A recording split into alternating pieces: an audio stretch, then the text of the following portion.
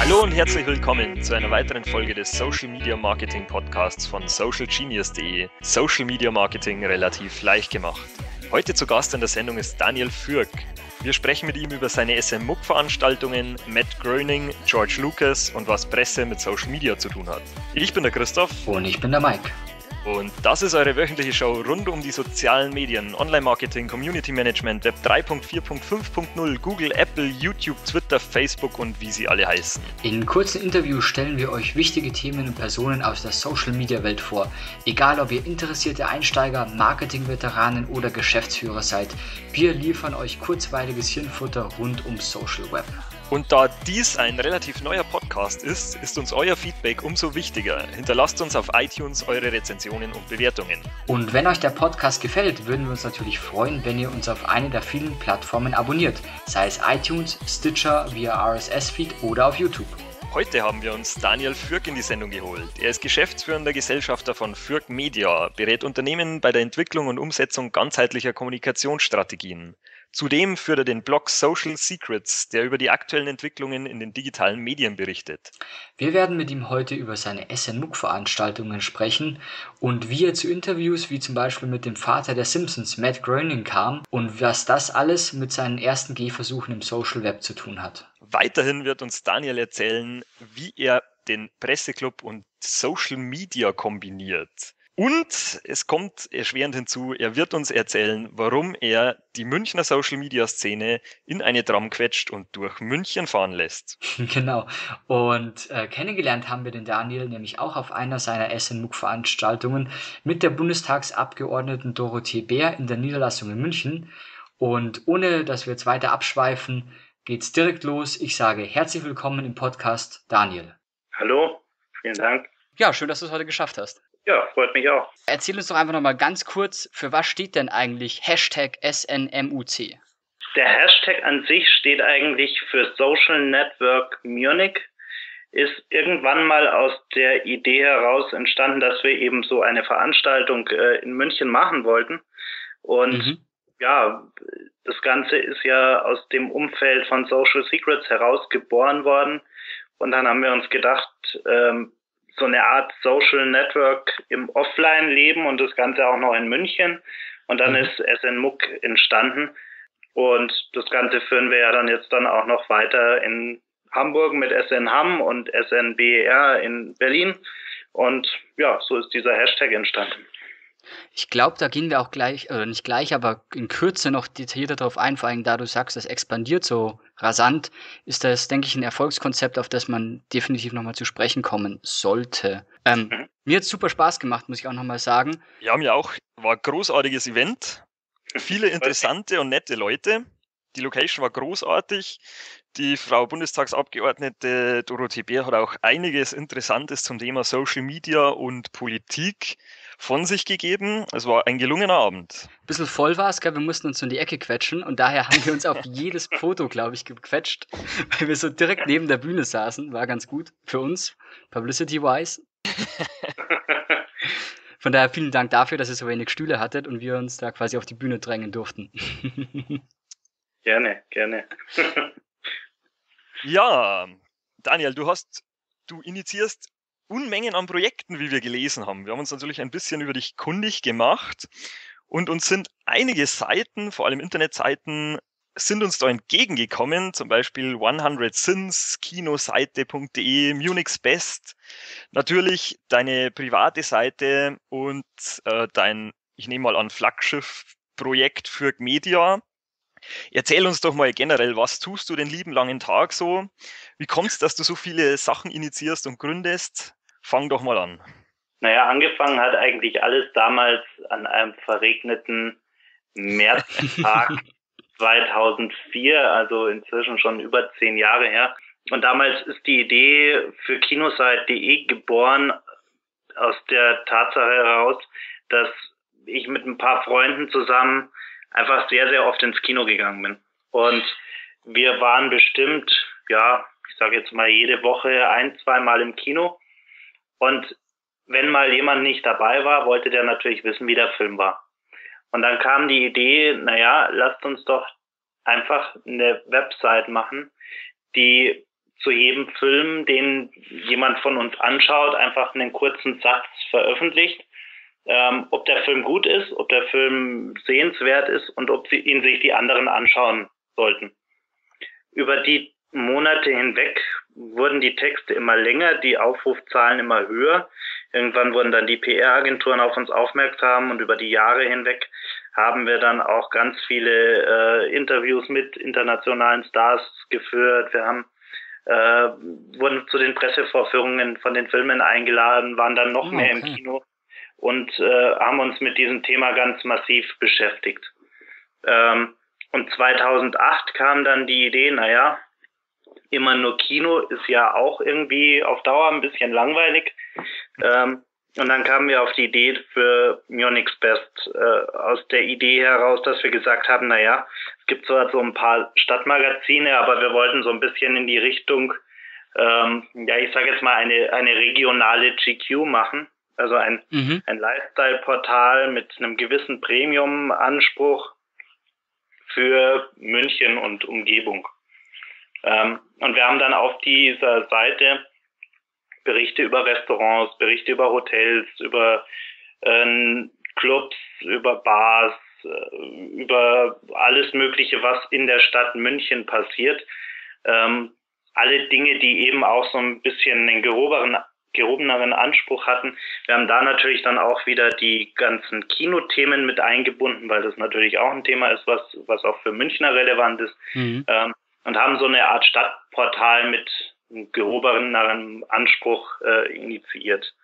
Das haben wir dann auch mal ein Jahr lang als Printausgabe noch mitgemacht ähm, und haben aus dieser Munich's Best Geschichte heraus dann auch tatsächlich die ersten Veranstaltungen in München ins Leben gerufen.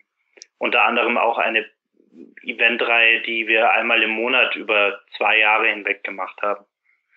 Ah, und okay irgendwann wurden wir mit Munich Best von den Themen her so ja überregional schon, dass wir irgendwann gesagt haben, naja, jetzt haben wir so viele überregionale Sachen, jetzt können wir doch auch ein Reiseportal für München machen. Und aus der Idee entstand dann, ich glaube, es war 2010 oder 11, ich weiß es gerade gar nicht mehr ganz genau, entstand dann die Idee für 100 Sins als eben internationales international ausgerichtetes Reiseportal. Für Leute, die nach München kommen. Nee, äh, schon äh, für Leute, die irgendwohin in den Urlaub fahren möchten und sich Informationen zu Hotels oder Restaurants und so weiter irgendwo auf der Welt suchen wollten. Ah, okay. Warum genau. Sins? Also schon vom englischen Sünde? Ja, ja, also so aus dem Gedanken heraus, dass schöne, teure Hotels ja auch so ein Stück weit Sünde sein können und gute Restaurants sowieso. Und äh, ja, so, so kam dieser Name irgendwo zustande. Ja, und dann habe ich äh, damals 2012 in der Unternehmenskommunikation der Sana Kliniken AG angefangen und war da im ganzen Konzern für den Bereich ähm, neue Medien, digitale Medien verantwortlich.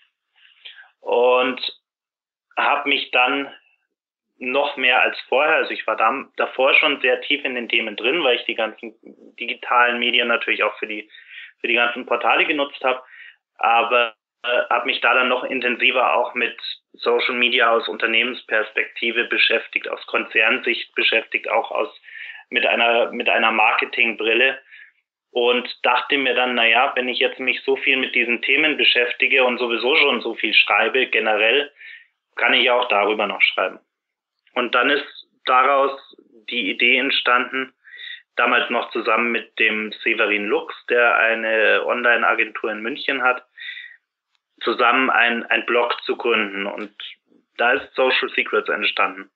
Und aus der Idee von Social Secrets heraus entstand dann wenige Monate danach eine Eventreihe eben mit dem Namen SNMUC, weil wir gesagt haben, jetzt lesen uns online schon so viele Leute, dann könnten wir die ja auch mal offline zusammenbringen.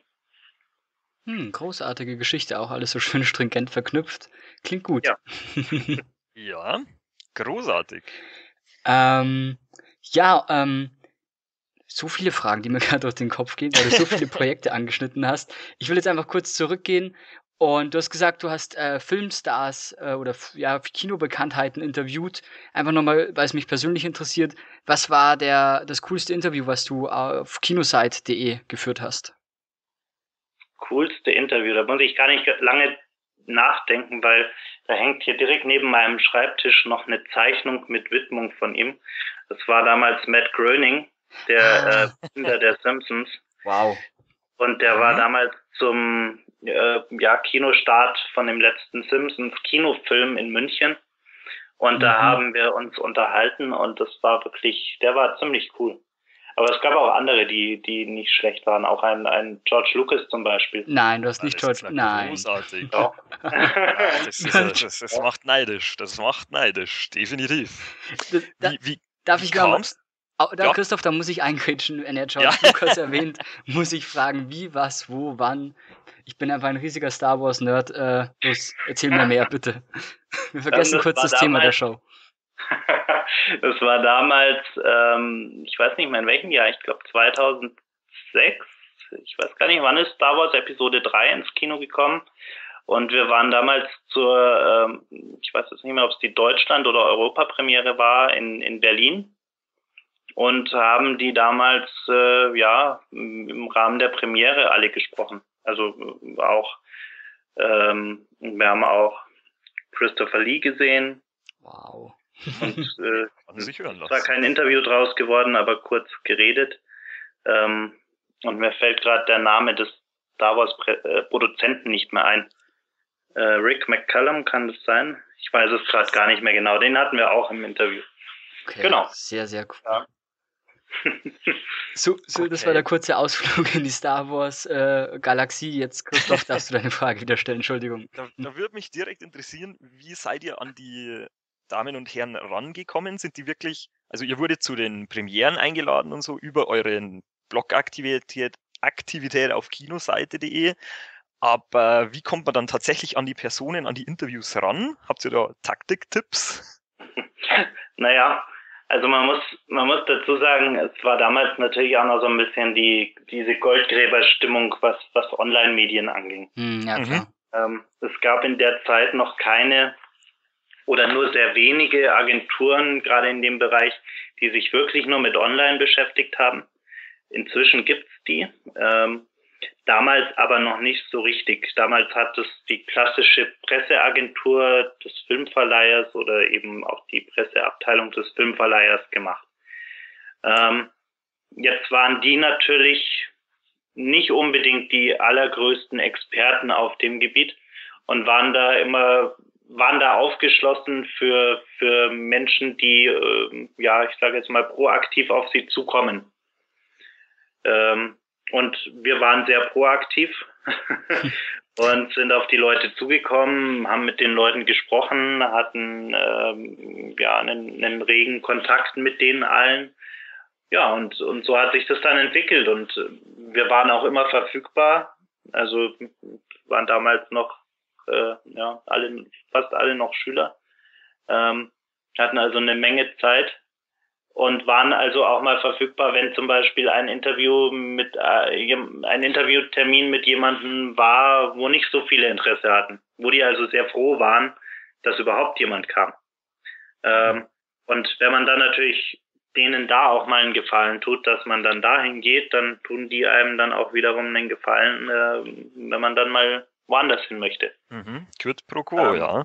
Genau, und so hat sich das entwickelt und äh, ich, ja, es waren bestimmt weit über weit über 100 Interviews, die ich selbst geführt habe. Ähm, und es war immer spannend, also es waren immer ganz interessante Persönlichkeiten. Auch ein, ein Bernd Eichinger damals noch und äh, mhm, mhm, mhm. Schweiger, um ein paar Deutsche zu nennen, eine Veronika Ferres. Äh, hm. Also ganz viele. Genau. Echt beeindruckend, muss ich sagen. Ziemlich beeindruckend, ja. Also die Namensliste ist wirklich stolz, ja. Wenn wir jetzt einen Kinopodcast hätten, glaube ich, hätten wir mehrere Themen, die wir jetzt äh, mehrere Folgen lang zerdröseln könnten. Aber ähm, ich leite jetzt mal wieder ein bisschen ins äh, ja, Social Media Marketing um, also Online Marketing genereller. Und zwar eben jemand, der so viele Projekte gründet wie du. Du hast sicher dir in den Laufe der Jahren viele Strategien zurechtgelegt. Wie promotest du etwas? Also du kommst mit einer neuen Idee auf den Markt, du launchst die Webseite.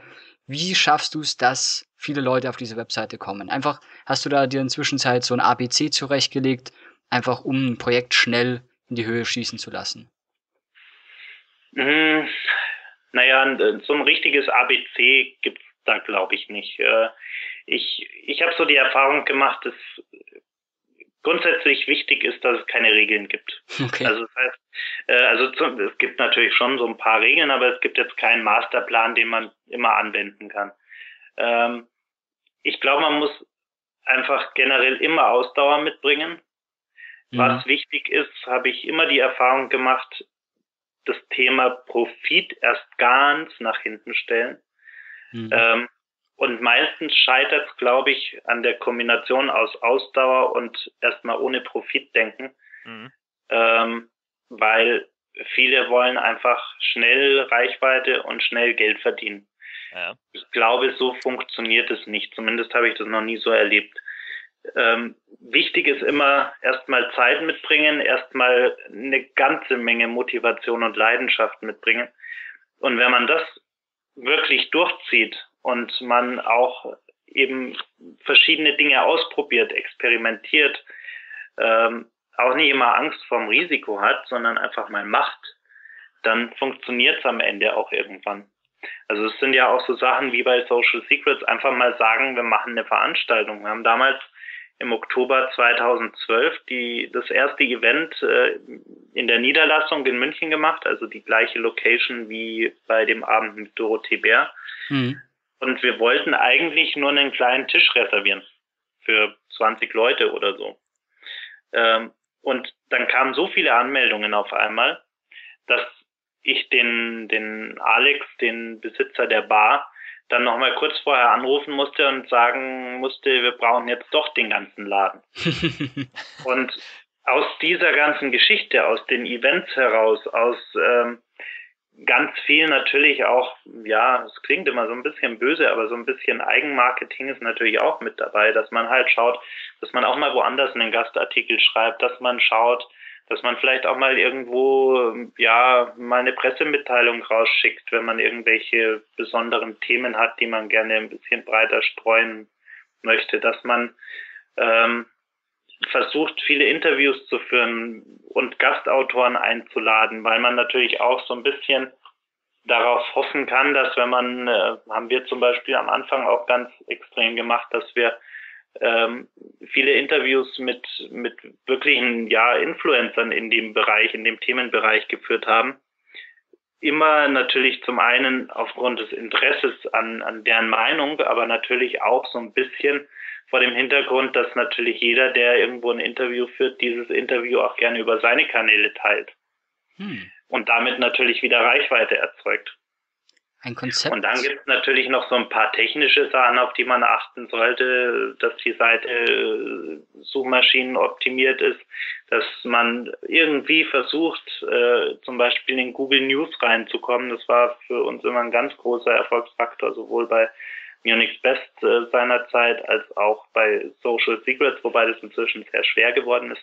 Aber auch darüber lässt sich Traffic generieren. Und man muss einfach immer viele Dinge ausprobieren. Heute arbeiten wir bei, bei Social Secrets auch ganz gezielt mit, mit Facebook Ads für mhm. bestimmte Beiträge, wo wir ganz gezielt auch Custom Audiences erstellen, wo wir genau die Zielgruppen auswählen, die für uns relevant sind, die wir haben möchten, von denen wir mehr haben möchten, in Städten, wo wir noch nicht so stark sind, die mehr mhm. pushen und so weiter und so fort.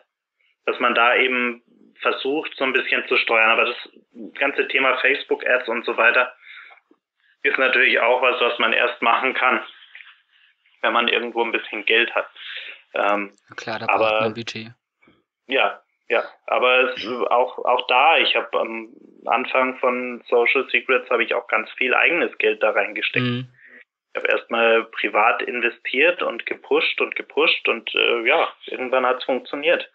Ähm, und Social Secrets selbst, wenn man jetzt mal wirklich nur Social Secrets äh, betrachtet, wenn man es ganz wirtschaftlich betrachtet, ist Social Secrets eigentlich verdient Social Secrets selbst kein Geld. Okay. Ähm, aber über die Veranstaltungen und über natürlich auch, wäre wär fast gelogen, wenn ich das leugnen würde, natürlich auch über Kunden, die ich über Social Secrets für Fürth Media mhm. generiere. Ähm, darüber lässt sich dann Geld verdienen. Aber ich glaube, gerade wenn man im, im, mit einem Blog irgendwo Geld verdienen möchte, muss man sich auch klar darüber sein, dass man auch ganz neue Wege für sich ganz individuell rausfinden muss, wie man da Geld verdient. Weil bis man mal einen Euro bei, über Google äh, Ads verdient mhm. hat, da geht eine da ganze man, Menge Zeit. Ja, auf alles Deshalb Fälle. einfach innovative Ideen einfallen lassen, auch mal was riskieren. Und wenn es nicht läuft, läuft es halt nicht. Und dann kann man einen anderen Weg ausprobieren. Aber wichtig ist, einfach immer wieder was probieren, immer wieder was riskieren und irgendwann ist was dabei, was funktioniert. Also in der Kurzzusammenfassung hochmotiviert sein und das Risiko nicht scheuen. Genau, und Ausdauer mitbringen. Und Ausdauer mitbringen. Ja. Ja. Christoph, du oder ich? Ehrlich gesagt, ich weiß gar nicht, bei welchem Punkt wir jetzt sind, weil Daniel hat unsere Punkteliste mittlerweile schon durcheinander gewirbelt. Das Ding ist, er ja, hat auch so ja, viele ja. neue Punkte aufgebracht, wo ich einfach einhaken es ist, möchte. Äh, ähm, Dann hakt doch mal. Ja, ähm, pass auf. Und zwar ist es ein bisschen äh, spezifischer, eben du hast gesagt, Blog monetarisieren. Also ich denke, wir haben auch viele Zuhörer, die eben äh, es überlegen, ah, staatlichen Blog. Und du hast gesagt, ja, wenn man einen Blog heutzutage monetarisieren will, muss man sich andere Wege überlegen. Also quasi weg von den klassischen Display-Ads, Google-Ads etc. Ähm, Hast du einfach ein Beispiel, da, äh, das da draußen muss unbedingt nicht von dir sein, aber einfach umgesetzt wird, wo du sagst, so könnte es funktionieren, finde ich, haben die Jungs und Mädels gut gemacht. Finde ich eine tolle Idee, wie man aus einem Blog, äh, äh, vielleicht von seinem Blog einfach leben kann. Hast du da was zur Hand, eine Idee oder ein ja, Beispiel? Es gibt ja immer verschiedene Wege. Ich, wenn man sich wirklich nur im, in, in seinem eigenen Blog-Kosmos, also wirklich nur ganz klassisch mit dem Blog beschäftigen möchte und ja. darüber Geld verdienen möchte, gibt es auch Wege. Man kann natürlich sich äh, über diese ganzen diversen äh, Artikelplatzierungsagenturen äh, Geld verschaffen, indem man eben Sponsored Posts, äh, Promoted Posts veröffentlicht, schreibt. Mhm. Das ist ein Weg, wie man Geld verdienen kann. Ähm, ist, ja, kann man jetzt gut finden, kann man nicht ja. gut finden. Ich finde es dann okay, wenn man wirklich kennzeichnet, dass es ein Sponsored ja. Post ist. Absolut. Wenn das ganz klar ist, ist es für mich eigentlich nichts anderes als eine Werbeanzeige, die auch noch redaktionell verpackt ist und nicht so nervt wie eine Werbeanzeige, dann finde ich es okay. Ja. Aber das Thema muss auch passen. Also es bringt jetzt nichts, wenn man über ein Thema schreibt, wo man sagt, das ist liegt mir so fern, die Meinung, die ich da vertreten. ja. Dieses Produkt finde ich eigentlich total beschissen dann sollte ich auch nicht für Geld darüber ja. schreiben, dass es gut ist. Also man muss seiner Meinung schon irgendwo treu bleiben. Das ist immer ganz wichtig, weil äh, Reputation und Glaubwürdigkeit aufbauen dauert immer ganz lang.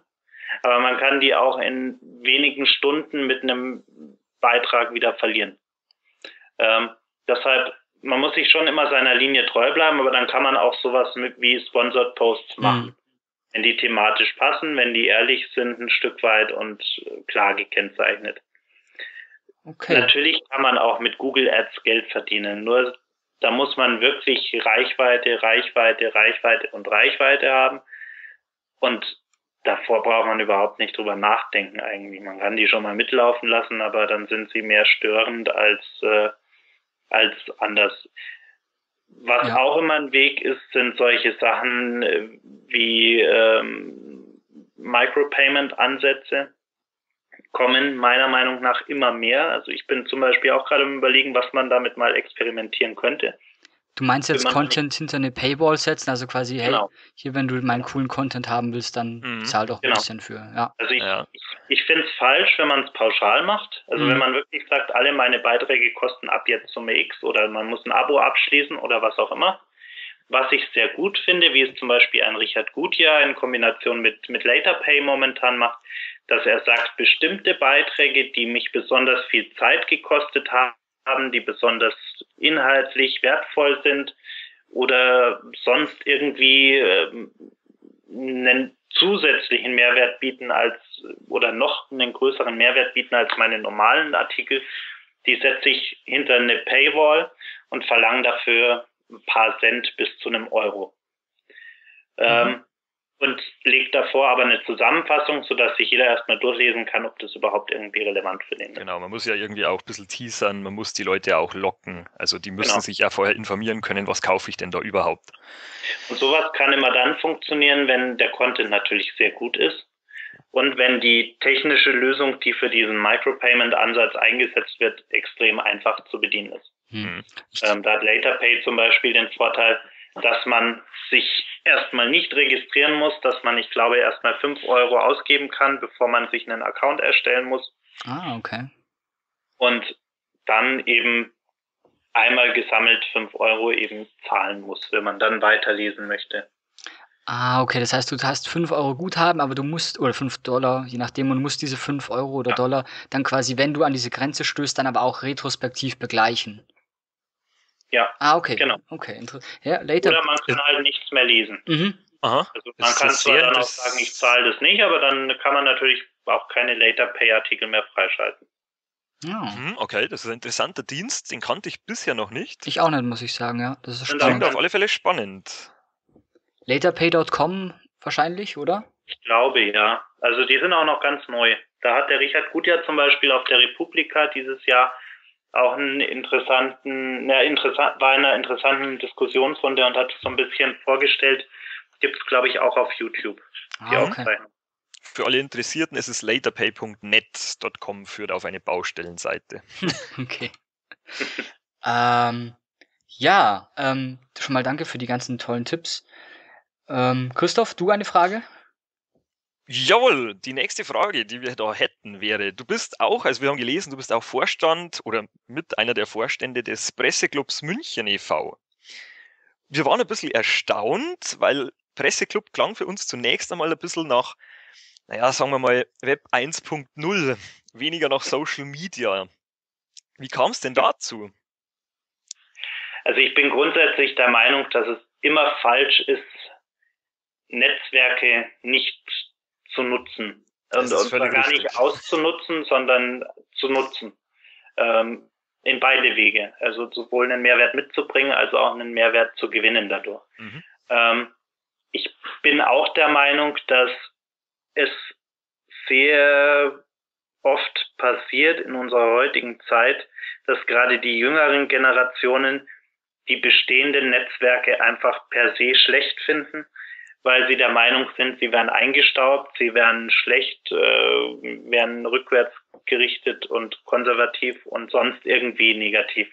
Mhm. Ähm, sicherlich ist der Presseclub nicht, ja, nicht äh, Heimat der großen digitalen Pioniere. ähm, aber er hat ein Potenzial und dieses Potenzial sind seine über 850 Mitglieder, oh. ähm, die allesamt irgendwo journalistisch etwas machen, was ihn auch zu einem der größten Presseclubs in Europa macht. Und das macht es wahnsinnig spannend, weil natürlich diese ganzen Mitglieder ein unglaubliches Potenzial an Erfahrung haben. Und diese Erfahrung ist heute genauso gültig wie vor 20 Jahren. Mhm. mit oder ohne Internet, weil die Grundregeln von Kommunikation, die, die Grundregeln von Journalismus äh, sind die gleichen wie damals. Und auch die Netzwerke sind in ihrer Struktur ähnlich wie damals. Und ich glaube, dass gerade so etwas wie der Presseclub für beide Seiten, also sowohl für jemanden wie mich, als auch für, ich sage jetzt mal, die ältere Generation hm. eine Bereicherung sein können, weil gerade wenn diese Generationen dort aufeinandertreffen und sich mit ähnlichen Themen beschäftigen, kann es eine wirkliche Bereicherung für beide Seiten sein. Dann können die voneinander lernen und gerade die jüngeren Generationen lernen dann auch wieder solche Netzwerke zu schätzen und die Erfahrung zu nutzen, die vorhanden ist. Und dafür wurden die ja letztendlich irgendwann auch mal gegründet. Das klingt super spannend, muss ich sagen. Also, und ich gebe dir vollkommen recht. Also, man kann immer ich glaube, man hat es schon bei den alten Meistern quasi gesagt, du kannst erst, äh, also Zeit, Maler, du musst erst das, äh, die komplexen alten Methoden verstehen, be bevor du es de dekonstruieren anfangen kannst. Und ich denke, das kann man fast ähnlich sehen. Social Media ist natürlich kürzer, knapper, vielleicht schneller als die klassischen Medien, aber ich glaube, wenn man gelernt hat, große journalistische Artikel zu schreiben, ist, ist es dann eher sogar ein leichtes, die wieder runterzubrechen in diese kurzen, schnelllebigeren Medien. Und ja. Genau. Ja. Ähm, wenn du so äh, ähm, vom Presseclub München erzählt hast, wie oft tagt ihr? Wo kann man, wenn man da interessiert ist, hinzustoßen? Also der Presseclub München macht inzwischen, glaube ich, ja, oder auch schon früher, äh, über 300 Veranstaltungen im Jahr. Uh. Ähm, die Räumlichkeiten sind am Marienplatz direkt gegenüber vom Rathaus in München. Das ist da beim äh, Hugendubel oben, oder? Genau, richtig. Aha. Und dort finden verschiedenste Veranstaltungen statt. Ganz oft Diskussionsrunden, ähm, Pressekonferenzen, Interviewabende und solche Sachen. Ähm, und da sind einige davon öffentlich. Das sind diese sogenannten Presseclub-Forum-Veranstaltungen und aber auch ein paar andere. Ähm, und bei denen kann man auch als Gast vorbeikommen. Die, die Termine dazu findet man auf der Website des, des Presseclub München. Und alle anderen sind nur für die Mitglieder. Mitglied kann man dann werden, wenn man irgendwo im journalistischen Presseumfeld, äh, auch übrigens im PR-Umfeld etwas macht und zwei Bürgen hat, also zwei Mitglieder, die dort schon Mitglied sind, also zwei ah, Personen, die dort schon Mitglied sind und dann kann man da einen Mitgliedsantrag stellen. Ähm, ansonsten finden da ganz viele interessante Veranstaltungen statt. Ich selbst mache da auch viele Abende inzwischen, habe zum Beispiel vor ja, drei, vier Wochen inzwischen einen sehr interessanten Abend moderiert mit Roland Berger, wo wir mit ihm gesprochen, darüber gesprochen haben, wie er die Wirtschaft momentan sieht und wie er eigentlich zu dem geworden ist, was er ist. Oder zum Beispiel zwei Wochen davor oder eine Woche davor mit Richard Gutjahr und mit Jimmy Schulz von der FDP mhm. über das Thema NSA diskutiert.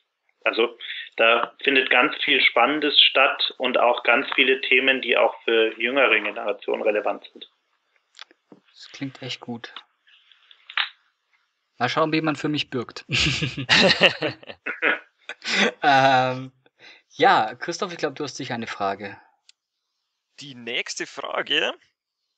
Ich würde fast sagen, beenden wir das Thema Presseclub und gehen weiter äh, wieder zurück zum SNMUC.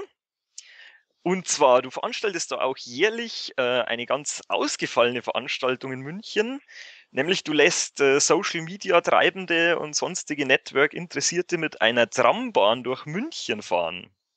Wie kommt es denn dazu? Also es kam dazu, dass ein äh, sehr ja, langjähriger Bekannter von mir sehr regelmäßig solche Events in Straßenbahnen in München macht. Der macht es meistens mehr unter dem Partyfokus, also er nimmt eine Tram, baut da ein paar Bars rein und DJ-Pult und fährt mit den Leuten durch die Stadt und äh, die trinken und haben Spaß. Was auch schon mal Irgendwann, gut klingt. Absolut. Fälle. Ich war schon, schon selbst mal in so einer Party-Tram und es ist ein Erlebnis, auf alle Fälle. Ja, absolut. Ähm, läuft auch richtig gut bei denen. Und irgendwann saßen wir mal zusammen und dann kam die Idee auf, ob, ob ich das nicht auch mal so als Event machen möchte. Und ich war dann erst sehr skeptisch und habe mir gedacht, hm, meine normalen Gäste bei den Veranstaltungen in der Straßenbahn und dann auch noch irgendwie Cocktails und DJ und danach irgendwo noch weiter feiern. Ja, ich war äh, am Anfang war ich ein bisschen skeptisch, aber habe mich dann doch dazu entschlossen, es auszuprobieren. Skeptisch war ich auch deshalb, weil er den Termin, den er vorgeschlagen hat, war letztes Jahr der mittlere Wiesensamstag. Oh, Abend. Oh, das ist natürlich. Ähm, wo ich allein schon deshalb der Meinung war, dass da nie im Leben irgendjemand sich mit uns in eine Straßenbahn setzt. ja, ähm, da wäre ich wahrscheinlich auch von ausgegangen. Aber ich habe es trotzdem versucht oder wir haben es trotzdem versucht. Und am Ende waren dann tatsächlich ähm, ja 180 Leute in dieser Straßenbahn. Respekt, Respekt. Und, Am diesen Samstag. Ja, es waren auch viele in Tracht. Aha, und, ja. Ähm, das ist und ja, es war, es war toll. Also äh, so eine Tram hat natürlich den Vorteil, dass man nicht einfach gehen kann, wenn man sich nicht traut, jemanden anzusprechen. Ah. Ähm, die macht nicht alle fünf Minuten die Tür auf, sondern da ist man erstmal gefangen.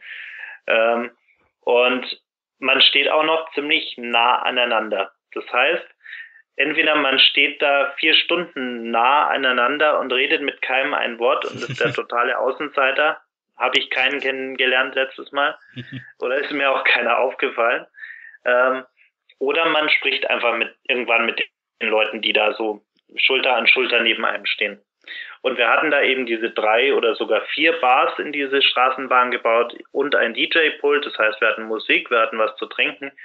Und am Anfang waren alle noch so ein bisschen verhalten und haben sich wahrscheinlich gefragt, wann die nächste Haltestelle kommt, wie das so in der Tram halt normalerweise ist.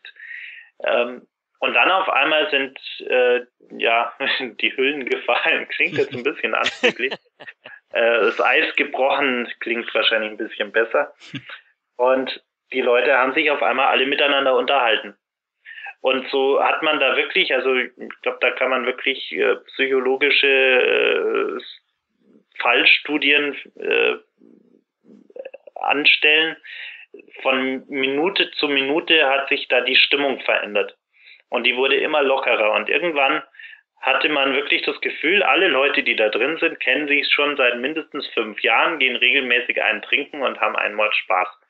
Und die letzte halbe Stunde sind wir dann bei lauter Musik, weil alle nur noch Wiesenhits hören wollten, ähm, durch München gefahren. Jeder hat nur noch mitgegrölt und jeder hat nur noch äh, ja, gefeiert. Und danach sind wir auch noch in den Club gegangen mit allen 180 Leuten und haben da noch weiter gefeiert.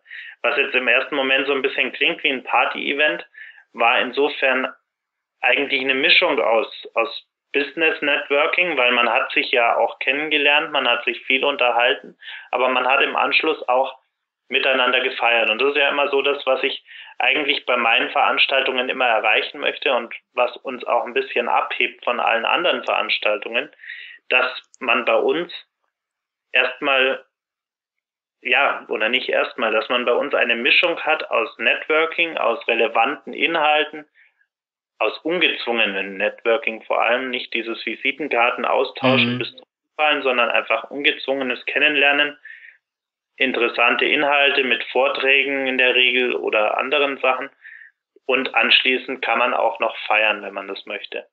Und da lernt man die Leute einfach, in dieser Kombination lernt man die Leute einfach am besten kennen.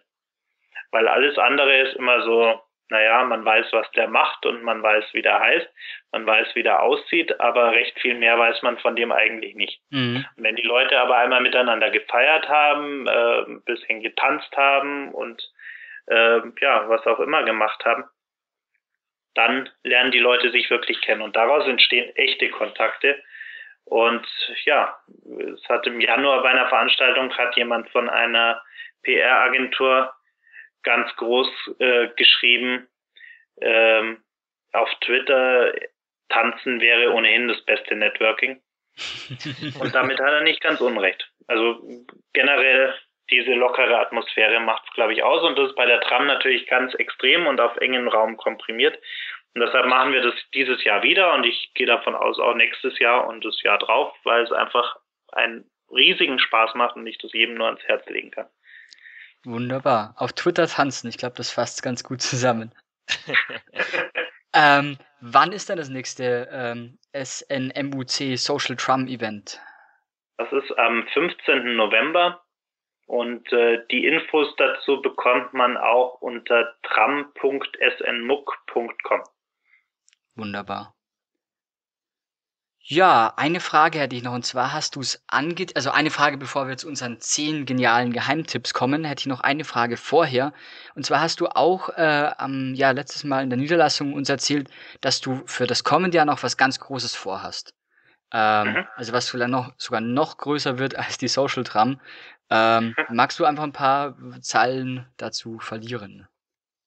Ja, dieses, dieses Baby für nächstes Jahr Oktober, also Oktober 2015, heißt 48 Forward und soll ein Kongress werden, der sich rund um den Themenkomplex digitale Zukunft, ähm, digitale Zukunft der Kommunikation, aber auch digitale Lebenszukunft, wenn man das so nennen möchte, drehen soll. Und ja, wir, wir werden diesen Kongress äh, für zwei Tage ansetzen. Auch da zählt so dieses Credo lockere Atmosphäre, ungezwungenes Networking, interessante Inhalte, aber eben auf zwei Tage ausgedehnt mit 500 äh, Gästen, äh, sehr interessanten Speakern, die wir ja demnächst teilweise auch veröffentlichen werden. Und da kommt auf jeden Fall eine große Sache auf uns zu, die auch mindestens in ganz Deutschland äh, für Aufmerksamkeit sorgen wird und eigentlich auch über die Grenzen des deutschsprachigen Raums hinaus wow. sich einen Namen machen soll. Das, das sind große Worte. Ja, wir haben, wir haben auch von einem Event in London gehört, dass das SNMUC nach London einen kurzen Besuch abstatten wird. Mhm. Ist da was dran? Stimmt das? Ja, wir werden äh, Ende Oktober werden wir ein tatsächlich ganz kleines Event in, in London machen unter dem Namen SN Lon. ähm, Euch gehen die Abkürzungen und, nicht aus, ich sehe schon. Genau, genau. Und ja, möchten auch in London regelmäßig ein Event machen. Äh, es wird sich dann wahrscheinlich im nächsten Jahr im größeren Rahmen wiederholen. Ähm, wir werden auch ab Oktober regelmäßig in Hamburg Veranstaltungen machen. Zum Beispiel jetzt am 29. Oktober wird da die erste Veranstaltung sein mit ganz spannenden Speakern. Also der, der Thomas de Boer, Managing Director bei Twitter Deutschland, wird da sein. Mhm. Carolina Schmidt wird da sein, die Country Managerin für den deutschsprachigen Raum bei Airbnb ist. Wir werden jemanden von Facebook mit dabei haben und wir werden auch noch den Nico Lummer mit dabei haben. Mhm. Und am 6.11. werden wir dann äh, mit SNBER, also dem Berliner Ableger, zum ersten Mal in der Hauptstadt sein mhm. und auch dort dann regelmäßig Veranstaltungen machen. Wie machst du das? Organisierst du das wirklich alles selbst? Fährst du dann selbst zu den Veranstaltungen oder hast du da Teile, ich sag mal, in Anführungszeichen outgesourced an Bekannte, Freunde, Mitarbeiter? Also wir machen das alles mit einem, ja, ich sag mal, ja, inzwischen festen Münchner Team. Also mhm. wir organisieren alles auch von München aus, ähm, haben natürlich vor Ort Partner für die Locations und solche Sachen. Aber die Organisation der Veranstaltung läuft komplett von uns und zum größten Teil tatsächlich äh, bei mir. Du bist dann also auch bei jedem Event vor Ort, oder? Also du wirst dann nach London ja. fliegen, nach Berlin mit dem Zug oder auch fliegen und äh... ja. Ah, ja, okay. Genau.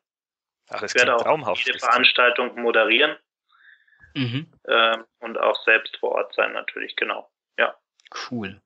Kannst du schon einen äh, kurzen, du hast es vorher so ein bisschen angeteased, dass ihr bald jemand bekannt geben werdet. Einfach so grob umreißen. Hast du einen, nicht einen Namen, aber kannst du jemand beschreiben, irgendwie so einen kleinen Teaser uns geben für dein großes Event 2015? Mm, naja, also grundsätzlich werden die Speaker alle keine Unternehmen vorstellen. Okay. Also Ziel ist es wirklich, eine Veranstaltung hinzustellen, die keine Unternehmenspräsentationen haben wird. Mhm. mhm. Die okay. Idee ist, es soll nicht so sein, dass ein Unternehmen XY sich auf die Bühne stellt und sagt, wie toll sie mit digitalen Medien umgehen. Mhm. Das ist aus meiner Sicht einfach völlig ausgelutscht. Das macht jeder Kongress und das ist meistens hört man die gleichen Geschichten immer wieder und immer wieder. Mhm. Das heißt, die Speaker, die kommen, werden alle etwas wirklich über Trends, über Visionen, über Prognosen erzählen. Die werden versuchen, einen Ausblick zu geben, wie die Welt in, äh, in zehn, in fünf, zehn oder 20 Jahren aussieht, wie sich unsere Kommunikation verändert und wie das Ganze sich entwickelt.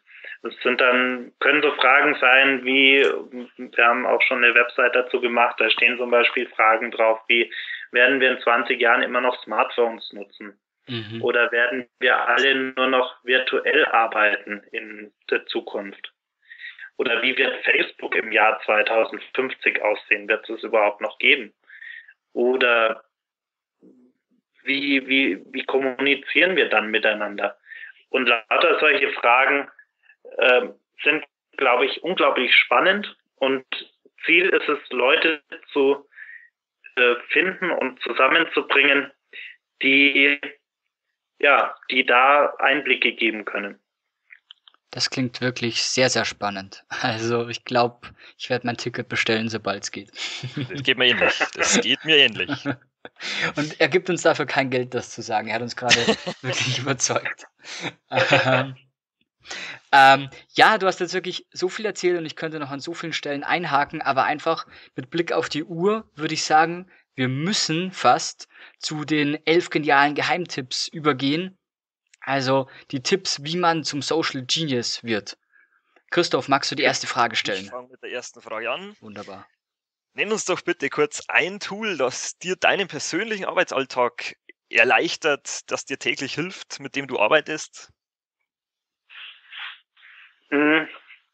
Also ein Tool, wo ich, mit dem ich wirklich täglich arbeite, ist Hootsuite. Ähm, in der, in der mhm. Pro-Version einfach über die Jahre hinweg tatsächlich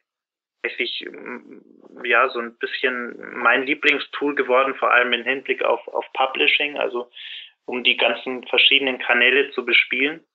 Ähm, was ich mit Hootsuite aber nicht mache, ist das ganze Thema Community Management.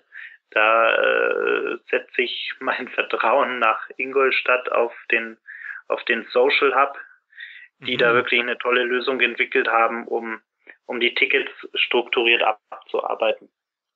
Okay, Hootsuite und äh, Social Hub aus Ingolstadt. Zweite Frage. Ein Tipp, um seinen Tag besser zu strukturieren. Also einfach, was hilft dir bei deinen tausend Projekten, einfach einen kühlen Kopf zu behalten, nichts unter den Tisch fallen zu lassen und äh, ja, on top of things zu bleiben. Also ein Tipp, an den ich mich selber immer wieder erinnern muss, ganz, ganz, ganz viele Notizen machen.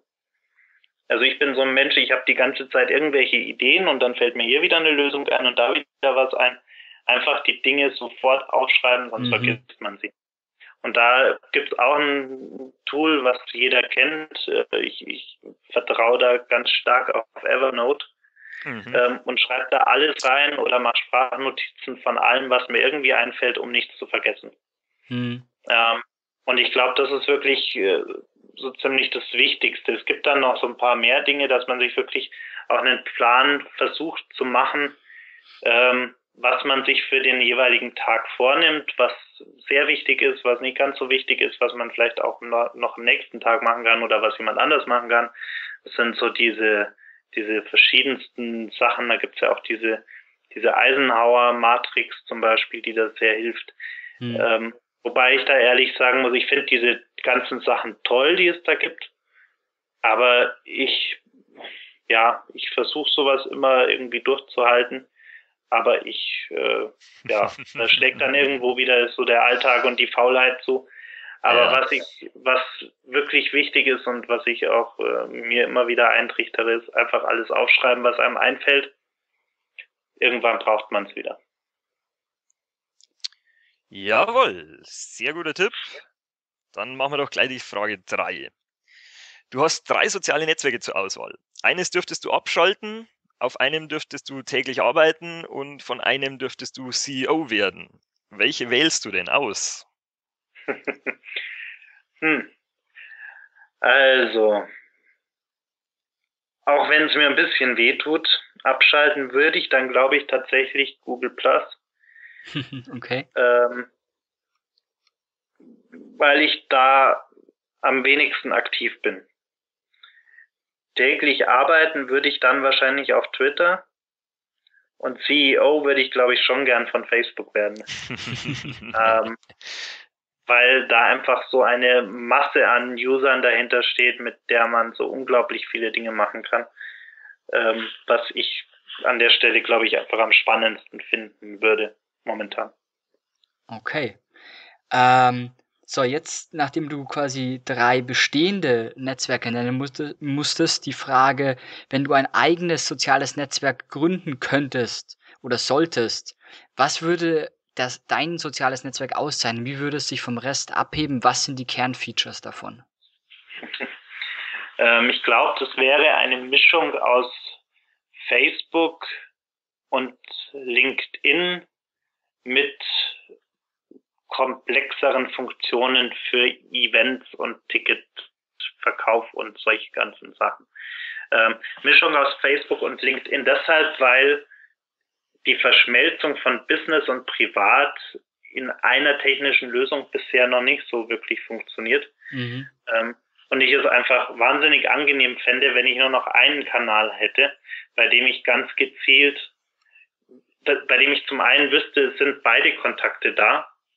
Ähm, und ich kann auf beide zugreifen und mit beiden arbeiten, ohne dass ich zwei Netzwerke dafür brauche. Okay. Wunderbar. Dann die nächste Frage. Gibt es eine Person, von der du im Social-Media-Bereich oder generell sehr viel gelernt hast, einen Mentor beziehungsweise ein Vorbild von dir? Hm. Da fällt mir jetzt so direkt niemand ein. Es gibt natürlich ganz viele Leute, von denen man ganz gerne ganz viel liest, äh, wo man sich auch immer wieder so die ein oder andere Sache rausnimmt, äh, wo man sagt, das ist wirklich mal ein toller Tipp. Ähm, aber ich glaube, um jetzt wirklich ein Vorbild zu haben oder jemanden zu nennen, der einem viel beigebracht hat, dafür bin ich, glaube ich, zu sehr Autodidakt, mhm. der sich die Dinge irgendwie selber erklärt oder zumindest versucht, sie sich selber zu erklären. Deshalb, ja, wüsste ich da spontan niemanden. Nee, musst du auch nicht unbedingt. Ähm, bei der nächsten Frage will ich jetzt von dir eine Antwort. Du musst die Hosen runterlassen. Und zwar, äh, was ist dein größter Misserfolg im Bereich Social Media? Also mal so ein richtiger Fauxpas. Was hast du da mal verbrochen? Puh. Hm schwierig. Also was ich heute vielleicht ein bisschen anders machen würde, wobei, nee, eigentlich würde ich das nicht anders machen. Also. Gut, du kannst natürlich eine weiße Weste haben, so ist es nicht. naja, also ich müsste wirklich überlegen, aber so spontan fällt mir jetzt nichts ein, wo ich so, so wo ich wirklich sage, Mist, nee, das war wirklich ganz große scheiße. Äh, ich würde vielleicht auf die ein oder andere Sache ab und zu ein bisschen weniger emotional oder weniger unüberlegt reagieren. Das sicherlich schon. Ähm, es gibt ja dann durchaus mal so Situationen, in denen man sagt, äh, das nervt einen ganz gewaltig, äh, was da so an Kommentaren kommt und mhm. reagiert man auch mhm. gerne mal ein bisschen ungehalten darauf. Ähm, ja, aber Nee, so ein richtiges Beispiel habe ich da jetzt eigentlich tatsächlich nicht im Kopf. Aber ich bin, mal, ich bin mir ziemlich sicher, dass du für die nächste Frage ein Beispiel hast oder, oder zumindest einen, einen Punkt anbringen kannst. Ähm, was ist denn dein größter Erfolg? Was würdest du denn als deinen größten Erfolg bisher sehen? Also zu den größten Erfolgen würde ich sicherlich äh, die Veranstaltungen zählen, die sich eigentlich nur über Facebook am Anfang vermarktet haben. Mhm. Ähm, also die, die SNMUC-Veranstaltungen vor allem, die von Anfang an sich wahnsinnig gut entwickelt haben, einfach nur durch äh, Viralität und auch durch Facebook-Ads, muss man sagen. Ähm, und die Kombination aus, aus äh, viraler Verbreitung und äh, Facebook-Ads als Unterstützung das war schon eine richtig gute Sache, die wirklich gut funktioniert hat. Hm. Ich merke schon, ich glaube, wir müssen dich irgendwann mal zu dem Thema Facebook-Ads nochmal einladen. Ich habe mir das nämlich auf meinem Zettel schon zweimal jetzt notiert und so eine Strichliste langsam angefangen äh, zu führen. Von daher, ich glaube, irgendwann, wenn wir mal über Custom Audiences, Facebook-Ads und so reden, wenn du Lust hast, würde ich dich gerne wieder dazu einladen. Gerne, gerne. Ähm, nächste Frage. Und zwar die coolste Marketingaktion, die du im Social Netz jemals gesehen hast. Also wirklich, das hat dich aus den Socken gehauen. Hm. Es ist mehr so eine, so eine Kommunikationsaktion, die, die aber auch ganz viel im Social-Bereich gelaufen ist. Was ich bis heute grandios finde, ist die ganze Geschichte rund um Felix Baumgartner und was mhm. Red Bull damals auf die Beine ja. gestellt weil die es ja tatsächlich geschafft haben, dass sich stundenlang Leute vor den Fernseher gesetzt haben und einfach nur dieser Kapsel zugesehen haben, wie sie da ja. hochsteigt, mhm. unterlegt mit 25 Wiederholungen, wo erklärt wird, was da eigentlich passiert. Und die Leute saßen in unglaublich großen Zahlen vor ihren Fernsehern und haben sich das angeschaut. Und es ist mir bis heute nicht klar, wie die das gemacht haben. Äh, ich weiß nicht, ob das ein Zufall war oder ob das wirklich durchstrukturiert geplant war. Ich kann es mir fast nicht vorstellen, aber das ist wirklich so eine Aktion, wo ich sage, Hut ab, besser kann man es nicht machen. Besser geht gar nicht. Ich glaube, wir müssen die Frage unmodeln, weil wir haben die Antwort bei zwei Interviews jetzt zweimal gehört. Ja. Die Red Bull Stratosphere Aktion, die wurde bisher schon mal gebracht. Quasi 100%. Und sie war zugegebenermaßen tatsächlich sehr beeindruckend. Also das muss man ihnen voll und ganz lassen. Glaub, Großartig. Ja. ja, schieß los, mach du die nächste. Die nächste. Eine Buchempfehlung aus dem Bereich Social Media. Hättest du da was für uns? Ja, da habe ich tatsächlich was. Ähm, und zwar hat mir dieses Buch, habe ich dieses Buch selbst auch auf Empfehlung gekauft, weil ich nämlich irgendwann Anfang des Jahres zusammen mit dem dem Enrico Hanisch von Audi zusammen auf der DLD saß und wir in einem Vortrag, in einer Vortragspause habe ich irgendwie auf Amazon nach Büchern gesucht.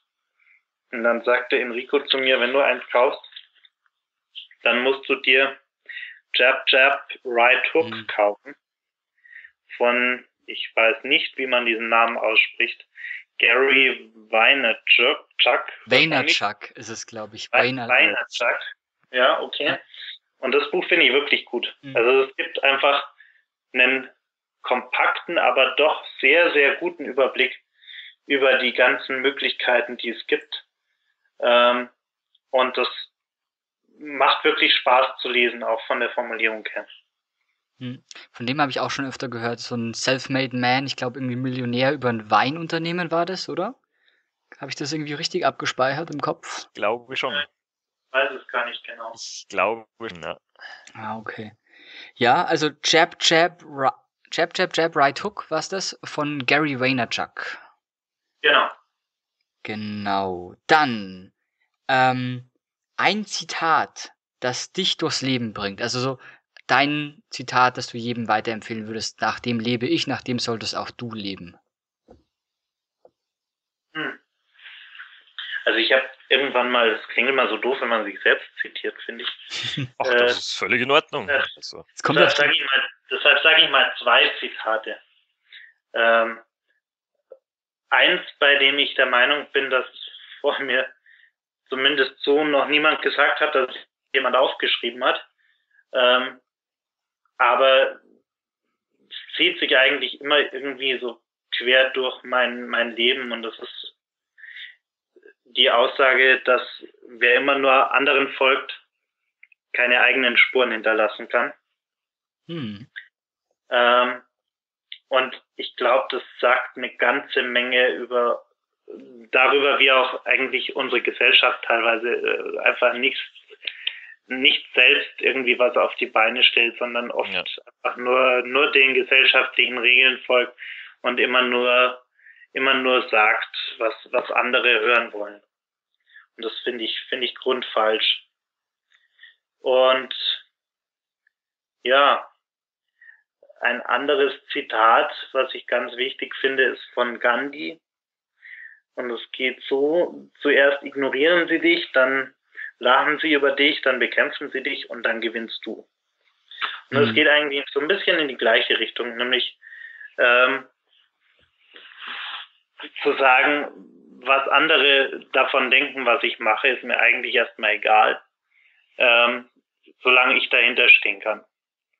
Ähm, und wenn ich richtig finde, was ich tue, natürlich, äh, wenn es völlig absurd ist, dann sollte man sich vielleicht auch über sich selbst Gedanken machen. Ähm, aber dass es einem am Anfang wirklich erstmal egal ist, was andere denken. Und wenn einem noch 20 Leute sagt, dass, sagen, dass das nicht so funktionieren kann oder nicht so gehen kann, dass man einfach macht. Und irgendwann, wenn man wirklich etwas mit Leidenschaft macht und dahinter steht, wird es auch Erfolg haben. Und wenn es soweit ist, werden die anderen sich dann auch ganz kräftig in den Hintern beißen. ja, zwei sehr schöne Zitate. Und jetzt zur Nummer 11 und damit zu unserem letzten Tipp aus elf geniale Geheimtipps, wie man zum Social Genius wird. Und die Nummer 11 lautet, gib uns doch mal einen kurzen Tipp. Wie kommt man denn am besten in den Social Media Bereich, in den professionellen rein? Wie kommt man in die Szene? Wie wird man da professionell tätig? Mhm, also was ich äh, generell, und da werden mir jetzt viele wahrscheinlich erstmal auf die Finger hauen, ähm, was ich schon richtig finde, ist, dass man generell sich das Grundhandwerkszeug aneignet. Und das im Idealfall auch wirklich im Rahmen von einer Weiterbildung oder so einer Art Kurzstudium oder sowas. Also ich selbst bin zum Beispiel auch als Dozent an der Bayerischen Akademie für Werbung und Marketing und erzähle da ganz viel über den Einsatz von Social Media im Unternehmensalltag. Ähm, und es ist so ein Lehrgang, ich glaube, der geht zwei Wochen. Und da bekommt man von mir und auch ganz, ganz vielen, noch viel klügeren Leuten eine ganze Menge erzählt. Da ist zum Beispiel auch ein, ein Mirko Lange dabei oder ein Kurt Simon Harlinghausen ähm, und so weiter. Da sind ganz viele ganz schlaue Köpfe dabei, die eine ganze Menge erzählen. Und ich bin der Meinung, dass man nach so einem Kurs, egal wo der jetzt stattfindet, einfach mal so einen Einblick in die Grundthemen hat. Ja. Ähm, und wenn man dieses Grundhandwerkszeug hat, sollte man sich, glaube ich, extrem viel mit diesem Thema beschäftigen. Man sollte ganz, ganz viel selbst ausprobieren. Man sollte lesen, lesen, lesen, lesen, lesen. Man sollte immer am Ball bleiben, was es für neue Entwicklungen gibt. Was auch damals der Grund war, warum ich überhaupt mit Social Secrets angefangen habe, weil ich der Meinung war, ähm, dass wenn ich viel darüber lese und darüber schreibe, ich das Gelesene mir auch selber besser merken kann. Ähm, und ich so noch tiefer in diese Themen reinkomme, was sich dann auch bewahrheitet hat. Also ich glaube, es ist wichtig, Grundhandwerkzeug erlernen, ganz viel lesen in Blogs, in News-Kanälen, einfach am Ball bleiben, was sich entwickelt, was sich tut. Ganz viele Sachen von Unternehmen anschauen, was die so machen und wie auch der Erfolg von den einzelnen Sachen ist. Ja, und äh, dann einfach Dinge ausprobieren, experimentieren. Und irgendwann merkt man dann, glaube ich, auch selbst, ob einem das Thema liegt oder nicht. Und dann kann man auch den Schritt wagen und das wirklich ja, in einem Unternehmen umsetzen. Hm. Aber am Ende des Tages ist einfach Erfahrung gerade in dem Bereich das Wichtigste. Und ich glaube, was auch wichtig ist, was viele immer unterschätzen, ist das kommt noch vor dem Grundhandwerkszeug. Social Media ist Grundhandwerkszeug für Kommunikation. Ähm, ich glaube, wer nicht weiß, wie Kommunikation funktioniert, der wird auch nicht in, im Social Media Bereich wirklich erfolgreich sein können. Ähm, weil am Ende fußt alles auf Kommunikation und die sollte man drauf haben, auch aus professioneller Sicht. Interessant, spannend und äh, würde ich so nur unterschreiben. Also. Absolut. Super. Da lässt sich fast nichts mehr hinzufügen. Ja. ähm, nee, wir sind auch am Ende unserer elf genialen Geheimtipps, wie wird man zum Social Genius. Ich hoffe, die Zuhörer konnten einiges, also ich bin mir sogar sicher, dass sie einiges mitnehmen konnten aus diesem Interview. Von daher vielen Dank dafür, Daniel. Sehr gerne. Ähm, Im Gegenzug möchten wir jetzt natürlich nochmal dir die Möglichkeit geben, einfach ja, ich weiß, es wird bei dir sehr lange dauern, aber so deine äh, wichtigsten Projekte nochmal zu nennen, wo man die findet, wo du die Leute einfach hinschicken möchtest, um mehr über dich herauszufinden. Und ja, genau. Leg mal los. Ja, also ganz viel lesen kann man natürlich immer auf, auf social-secrets.com. Ähm, da werden immerhin, ich glaube, monatlich so im Schnitt zwischen 80 und 150 Artikel veröffentlicht. Das ist eine ganze Menge. Ähm, ja. Und auch eine ganze Menge, um am Ball zu bleiben.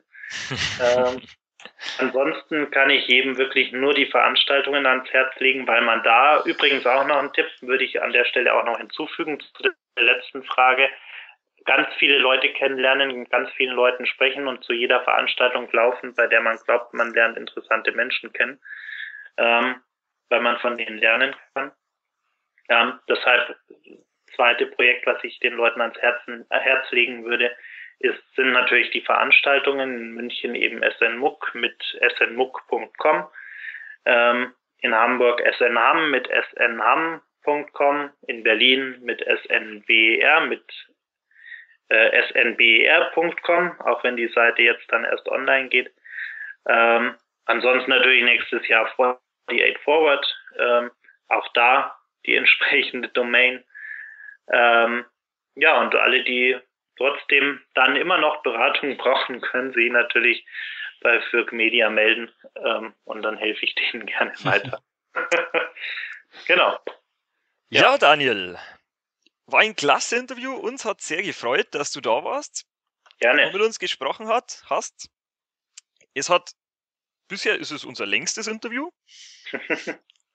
ja, es mit Abstand. Auch, mit Abstand. Aber wenn es viel zu bereden gibt, dann darf das Interview gerne auch mal länger dauern. Warum auch nicht? Wir sagen Danke. Danke. Und werden dich sicher ja. wieder mal in die Show holen. Sehr gerne. Ja, nee, hat mich auch sehr gefreut, Daniel. Und ja, würde mich freuen, wenn wir dich sehr bald wieder mal hören und sehen auf einer deiner Events dürften könnten. Gerne, gerne. Seid immer herzlich willkommen.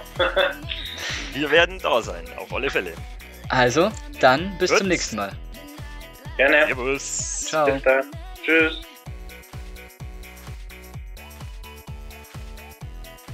Vielen Dank, dass ihr bis zum Ende mitgehört habt. Wenn euch der Podcast gefallen hat, würden wir uns freuen, wenn ihr uns auf einem der Kanäle abonniert, sei es iTunes, Stitcher, via RSS-Feed oder auf YouTube. Euer Feedback ist uns natürlich genauso wichtig. Daher schreibt uns eine Rezension und oder eine Bewertung bei iTunes oder lasst uns einen Kommentar auf einem unserer vielen Kanäle, sei es jetzt die Homepage, Facebook, Twitter, Google+. Ihr wisst, wo ihr uns findet. Wir hören uns wieder nächste Woche zu einer weiteren Folge des Social Media Marketing Podcasts von socialgenius.de. Bis dahin, Servus und ciao. past.